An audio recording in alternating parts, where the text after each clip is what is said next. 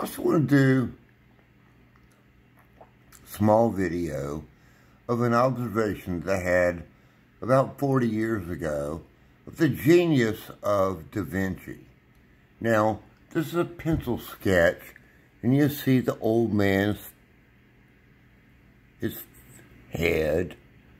But if you look directly behind his eyes at his temple, there's a bulge there.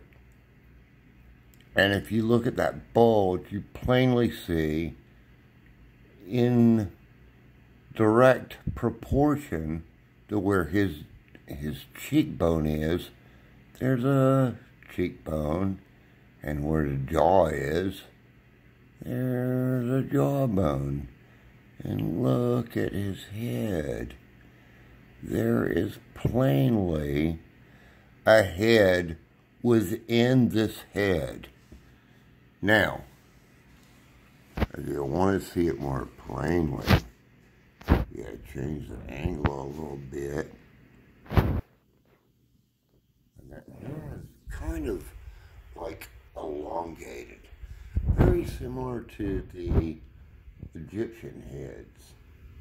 Maybe almost like an alien head.